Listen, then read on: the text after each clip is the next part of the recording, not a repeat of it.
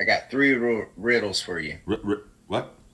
Riddles. R- Riddles. Gotcha. Okay. All right, the first one is you have to repeat after me. Fork, Pork. knife, Knife. what's the color shirt I'm wearing? What is the color shirt I'm wearing? Oh, he got it. He fucking got it. Because people like repeat what I'm saying, you know? It's not the color of my shirt, is like what I say. You got it. Okay, no, the next one is 30 cows in a field, 28 chickens. How many didn't? Ten. Yep.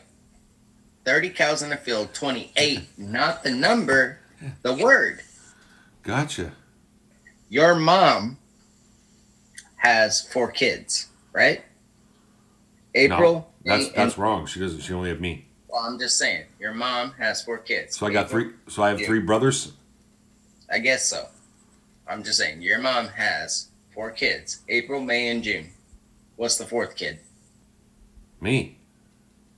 Boom. I mean, you're good at this shit. I didn't do nothing. Yeah, you're pretty damn good at it, though. No, I just answered your questions.